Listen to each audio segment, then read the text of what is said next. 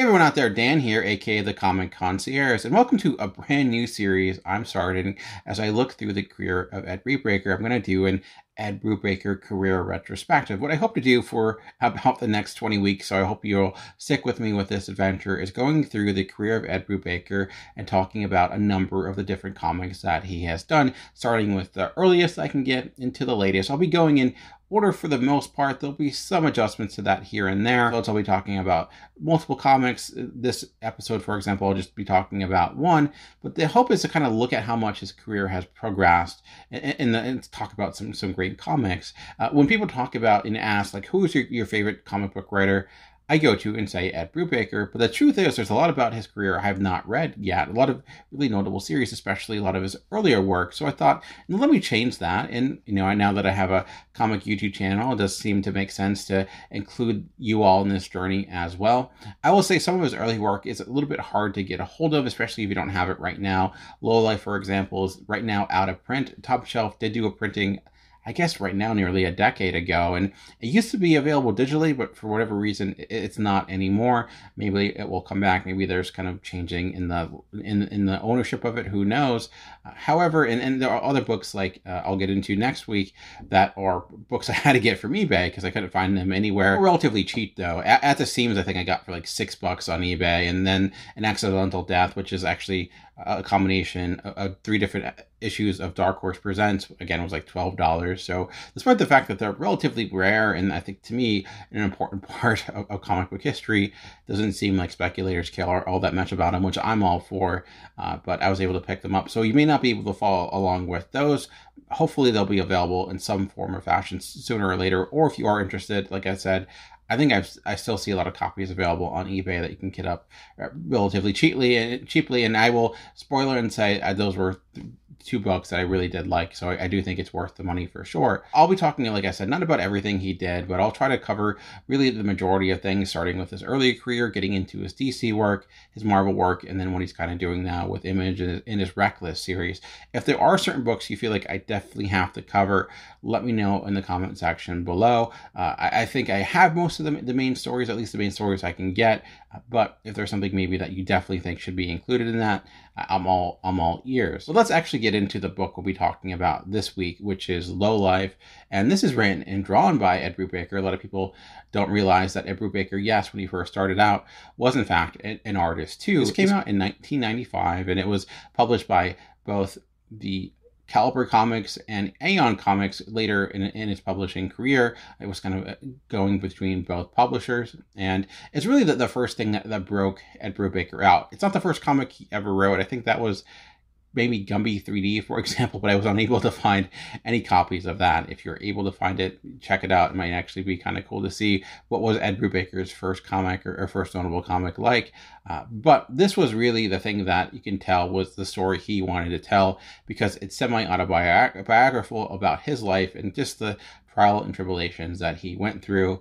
And reading this and knowing that, the word that comes to mind is honest when it comes to this story. It is a feel a story that feels very honest. Almost feels like a confession in a way, going through all these bits of his life, talking about what happened. And the main character, Tommy, in this, which is clearly a representation of him, is not a good person. Like it's a, it's a person that you'll end up really not liking for a multitude of reasons. He does bad things. He's a, annoying. He can be abusive at times, both physically and emotionally. Uh, and it's not like it's trying to redeem the character in any way. It's, I think, showing a complete picture of him. look at this. This is a combination of a number of short stories. There was about four issues that made up the entire entire set, and each issue in itself sometimes had multiple stories as well. The first story is about him and this kind of failed crime adventure eh, where he and, another individual, when at the time they were kind of low low key drug dealers and things were drying up a bit. So in order to get money, and really they just wanted money for drugs that they could take themselves, they came up with his friend came up with this idea of robbing this computer store that would be easy money. Have have the guy go in the back, pull a gun on him, take his money, get the computer, and you're good to go. Uh, however, what they're saying is that you know a life of crime is is not a hard one to turn down if one time you're successful and what happens next. And then you see the volatility of his friend as well and what he's willing to do. You see him kind of going off the deep end. And it's kind of a, an example of how you know, the old Ben Franklin's saying of when you sleep with dogs, you, you rise with fleas. And you saw Tommy really put him in, in situations where he was, you know, with a lot of people that were not the greatest people in the world. And to be fair, either was he. And this was a story, this was a combination of stories where story plot wasn't the, the main thing wasn't the most important piece of this. This was all about character and really kind of slices of life stories. Looking at this, I saw a lot of people compare this to like Richard Linklater movies, which to me makes a, a lot of sense. You know, Slacker is something that I kept thinking about reading this, you know, the Before series. For those that don't know, the, the Before series is done by Richard Linklater and it's the Before Midnight, Before Sunrise, Before Sunset. Uh, and they're really stories that all take place in the day and are just people having conversations. I know a lot of people would think that, that are awful. I do really love those movies. But again, with Richard Linklater, maybe something more like Dazed and Confused, for example, where you're just kind of hanging out with people that are maybe not always the greatest people in the world. Maybe they are, but they're always interesting and they're always intriguing and there's always that element of honesty throughout. Now, now looking at the cartooning here, again, this is Ed Brubaker doing everything on the page. And reading this, it's like seeing just how much indie comics has changed throughout the years. When you think indie comics today, image and things like that, you realize the the fighting factor between what's image, what's indie, and what's big two is not as as big as it used to be. They all have kind of the same access to things. Like it doesn't cost nearly as much when it comes to making comics in the sense of like the tools you can use due to things being digital and things like that. This was a complete indie book, all all done in that fashion. It makes you realize how much things has changed, like from the hand lettering to the, the black and white look you know this was a true indie book uh, kind of the style you don't get anymore. This is very much in the vein of, of a 90s comic. Although not that like the fashion is, is super 90s although the hairstyles do uh, appear that way in, in, a way. And i think when i think of 90s i think it what it really gets to in the 90s is that gen x kind of lack of direction. You, you see these characters and that is the continuous thread throughout. There's just this con- confused lack of direction. They just really don't know where to go in life. They're just kind of getting by, just kind of hanging out. And that's why I think it works because narratively, yes, it is just uh, the story about hanging out, but I think it speaks to the specific time and place. You know, we have a, a, lot of that in, in the zeitgeist for movies like Clerks, for example. People just at a store talking. It also makes me think like, why was it so entrenched into the '90s in that way? Why was that kind of slacker mentality, uh, whatever you want to call it, such a big piece of the culture at the time? Was it simply because there's this lack of progressive movement? I mean, when you think about the '60s, you had all the different protests, the free love of the '70s, whatever you want to compare it to, the the access of the '80s 80s. And maybe it was a reaction to that. You know, 80s were big and bold, greed is good, all that type of stuff, where the 90s really brought things down to the basics in, in a way. And again, I'm speaking as someone who was a, a kid for most of the 90s. So perhaps this is just the perception of what it was and it was you know, much more varied than that. That's certainly the case. But i do think this book specifically is, is speaking to that generation in, in, that way. And you know you get other stories. Well really the, the, the center of this similar again comparing it to the before series which is about a relationship that's the case here with, with tommy and sonny and they're this estranged relationship where they, their their stories go throughout. And if I had one one issue with this book is that it does shift in timelines a, lot. Like it's hard to really get your bearings of one comes first, what comes second. And Sonny's in the picture, she goes away. I don't know if that's because you have a book that again was switching publishers. This wasn't something that was maybe designed to like be a complete series at that time. You know, trade paperbacks weren't really something that people did to a great extent. I think they were just meant to be here's one issue, it's it's complete, and when you put it all together, it, it's a bit a bit messy to read when you're trying to just figure out where everything is within the timeline. It doesn't necessarily impact your comprehension of everything all that much, but you feel like one storyline is over, then it picks up later. It's a minor issue, but generally, again, it's about Tommy and Sonny. You see that relationship pop in and out a great deal, and their relationship is what you would classify as an unhealthy relationship. Uh, there's even times where you know there again we talked about it getting abusive.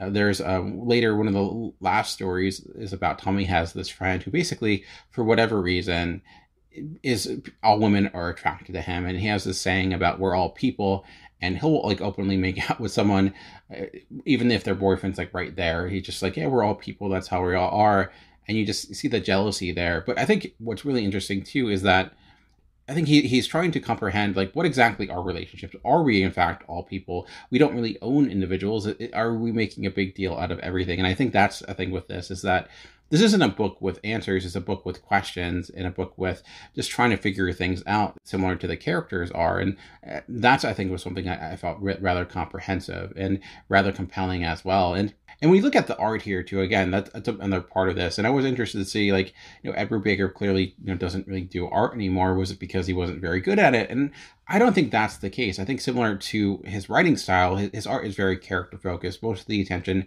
is on the characters, their design. They kind of have the that over oversized head in a way, so you can get a lot of expression on the page.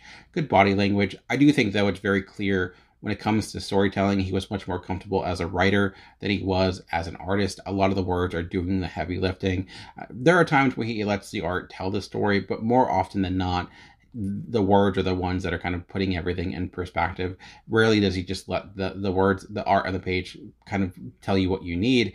And he, he does, I think, have the fundamentals of what makes a good artist. I don't think he'd ever be an all star artist. Anyone that would ever cross over to like a Marvel or DC, if he went that route, he doesn't have that type of style or, or that ability to really adjust. And The other issue, too, is that sometimes it felt like I, I, the character designs didn't differentiate themselves all that well. At, at, times, I thought someone was a character from a previous story, but it was entirely someone different. Maybe that was just because everyone had a similar look to them, because especially when it came to facial hair.